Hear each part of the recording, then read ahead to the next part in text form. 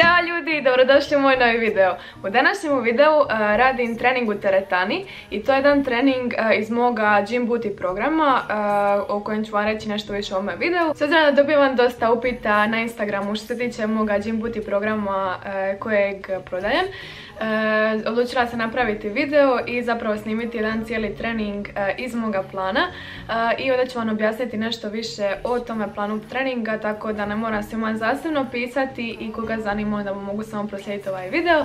Tako da nadam se da će vam se ovaj video svidjeti. Kao što vidite po kvaliteti videa napokon mi je došla kamera. I toliko sam sritna i motivirana i evo čekam snimati nova video. kvaliteta je toliko savršena i još samo treba svjetlo srediti i to će biti onda top. Tako da Nadam se će vam se video svidjeti, a sad ću vam prije nego što krenemo u video reći nešto više o mome planu treninga. E, plan treninga se sastoji od 9 treninga. 7 e, treninga ima 8 vježbi, a 2 treninga imaju po 9 vježbi. Ja sam u ovome treningu, odnosno planu treninga, ukomponirala sve vježbe koje sam ja radila već dvije godine, odnosno e, po ovim vježbama sam ja radila u teretani i dobila napredak koji ćete vidjeti negdje ovdje, postavit ću sliku. E, tako da e, stvarno sam uložila truda u radeći taj plan e, treninga. Naravno još nisam sretna kako je to sve ispalo jer u budućnosti kada završim školu i sve ostalo planiram napraviti puno bolje planove treninga koji će imati i videa i slike i objašnjenje vježbi. Doduše ja sam na ovome planu treninga objasnila vježbe, one koje su se trebale objasniti i također u uvodnome dijelu pišem kako treba jesti, koje težine koristiti, kako povećavati kilaže i opterećenje. no međutim, što se tiče snimanja videa, znači u planu treninga vam se nalaze samo imena vježbi. To je došlo do zabune kod nekih cura kada sam im poslala planove treninga. Uglavnom, nema videa i zbog toga je plan puno jeftiniji. Ja znam da nisam završila nikakvu školu i da je možda to nekima čudno što sam ja napravila, ali smatram da e, sama sam učila i e, sama sam na sebi vidjela rezultate, tako da nadam se da ću nekome pomoći e, i naravno nisam nabila neku cijenu s obzirom da nisam trenerica, tako da nadam se da će se nekome svidjeti taj planove treninga. E, prodala sam ih dosta već i cura javljaju jako dobre rezultate i to mi je jako drago vidjeti jer ja sam sama na sebi vidjela i 100% sam sigurna da će na druge djelovati naravno ako se pravilno hrane i ako stvarno treniraju po tome planu treninga. Ono što sam ja nastavila napraviti u svome Gym Booty programu je da ne budu samo nekakve izolacijske vježbe jer dosta ovih fitnessica koje rade svoje planove treninga. Sve se vježbe sastoje zapravo e, od samoizolacijskih, a ja znam sama po sebi da od izolacijskih vježbi ne možete toliko napredovati koliko je od nekih osnovnih vježbi kao što su čučanje deadlift. I zato sam uh, u svoj program znači uvrstila i takve vježbe. I svaki trening ima dobar omjer i izolacijskih i uh, tih osnovnih vježbi kao što su čučanje mrtvo dizanje. Uh, i naravno svaki trening sam isprobala na sebi i znam kako je. I sigurno ćete imati upale i neka ćete morati čak napraviti samo dva treninga tjedno jer budu toliko velike upale da jednostavno nemate snage odraditi drugi trening. Da vam napomenem da imam i buti program za kod kuće, za vas koje zanima. Možete se raditi sa trakom, možete imati nekakva dodatna opterećenja, a i ne morate. To ću objasniti posebno u drugom videu zato što ću snimiti također jedan cijeli trening iz Home Booty programa. Ja mislim da sam sve rekla što se tiče moga Gym Booty programa. Ako vas još šta zanima, slobodno mi pišite u komentare. Javljajte se u direkt. Ovaj video sam napravila isključivo za cure koje me pitaju stvarno za taj plan treninga i stvarno dobivam previše poruka.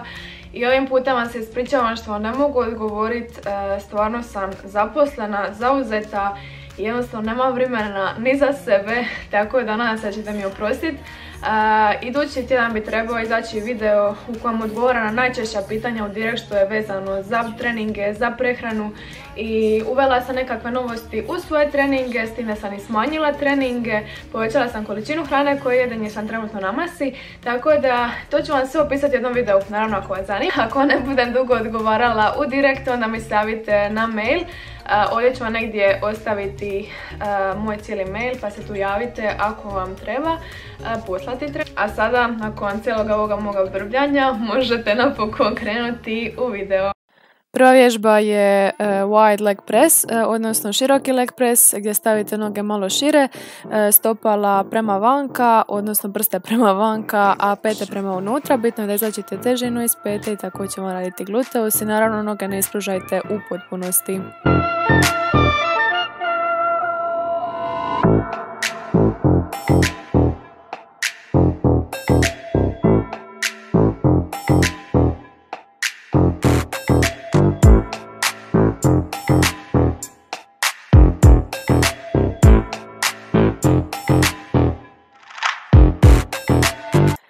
Druga vježba je asistirajući uh, single leg deadlift, znači radite deadlift na jednu nogu i tako drugu nogu stavite zapravo uh, na bench klupu, tako da ona bude zapravo uh, podržana, to je za ove koji imaju jako lošu ravnotežu.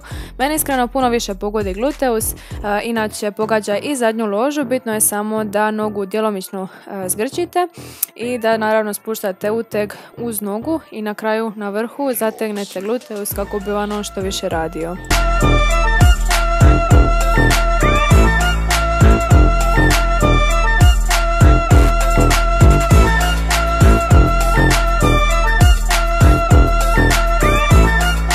Jedna napomenica, molim vas pazite na leđa da vam budu ravno.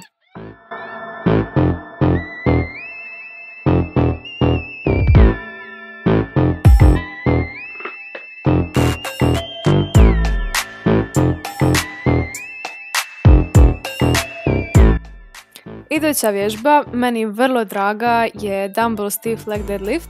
Uh, ja stavim traku iznad koljena iz razloga što mi onda više uključi gluteus, pogotovo ako malo koljena idu prema vanka. Uh, ja ovdje volim se stvarno teretiti sa kilažama iz razloga što mi onda stvarno preuzima gluteus tu. Ako vam slučajno ne bude gluteus radio na ovakvoj varijaciji, onda stavite ispod peta neko povišenje i trebali bi osjetiti gluteus. Naravno na vrhu ga stisnete i zategnute.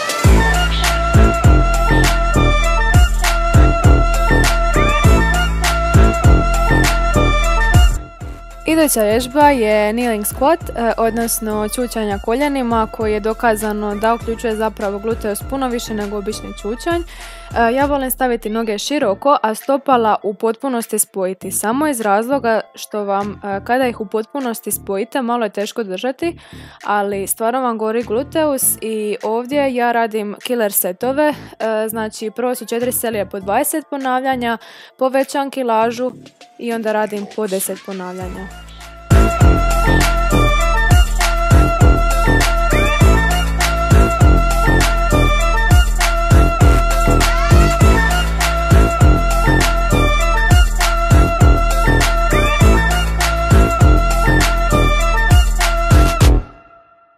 Vidim dosta de fitness influencerica da zapravo kad rade ovaj čučanj skroz uvrnu kičmu prema unutra, e, nemojte to raditi ako mislite ostati čitavi i zdravi.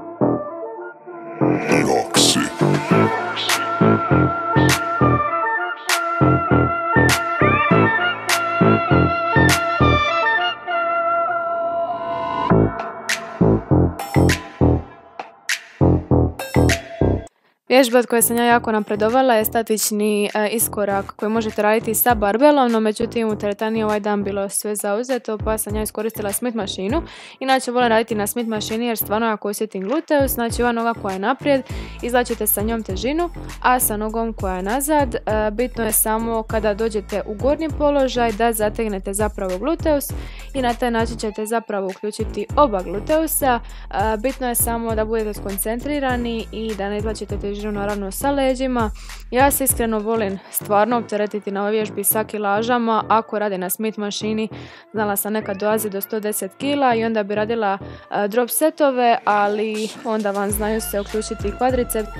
Ako ne želite baš uključiti kvadricepse, onda samo radite sa više ponavljanja i manje kila.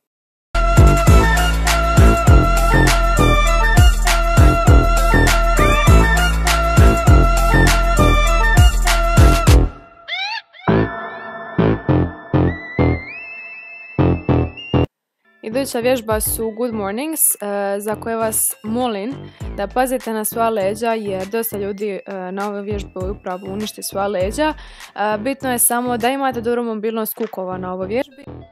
Da vam koljena idu prema vanka i ne naravno previše prema vanka. Ja stavim pete prema unutra, prste prema vanka i lagano se spuštam sa leđima, ali opet pokušavam osjetiti gluteus.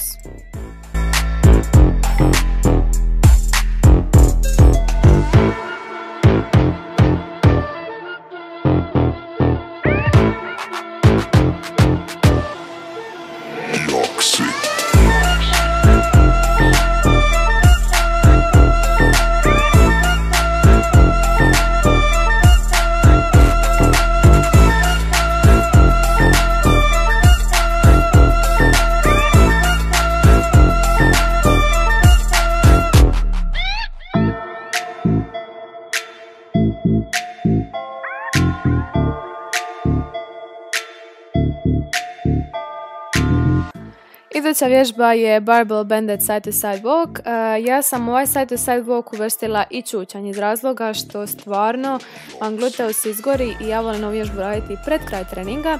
E, inače koristim traku koju stavim oko zglobova. E, ovo je traka koju inače meni šalju sponzori, ali nije zato što je plaćena, nego jednostavno stvarno je dobra traka jer sam kupila sve iz pola i potrošila novca, svaka mi je pukla. Tako da već sam onako me video govorila o traci, ako vas bude zanimalo reći vam nešto više o njoj, imate inače kod za popust. E, a što se tiče same vježbe, bitno je samo da e, radite skoncentrirano i da ne odustanete jer ako vam gore noge to znači da je djelotvorno.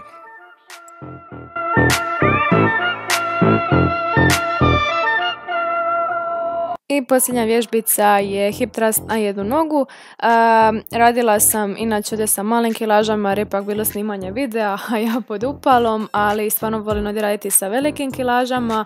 Naravno ako ste početnici to ne bi preporučila, bitno je samo da dobro namjestite leđa na klupi, da ne mićete sa glavom jer će vas onda boliti vrat i da izlađite zapravo cijelu težine iz pete i postavite se nekako da vam odgovara. Uvijek prije nego što napravite hip thrust pogledajte kako će vam položaj odgovarati da osjetite samo gluteus, a ne i zadnju ložu.